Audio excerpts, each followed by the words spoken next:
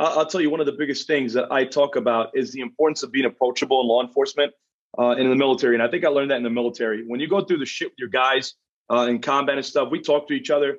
We don't really keep it from one another. We learn how to build that camaraderie with one another. And uh, just being able to talk to people has helped me tremendously. I can't even imagine what it was like, you know, if I was dealing with something and not being able to talk to somebody about it. Um, so I think that's kind of set me up for success in the beginning.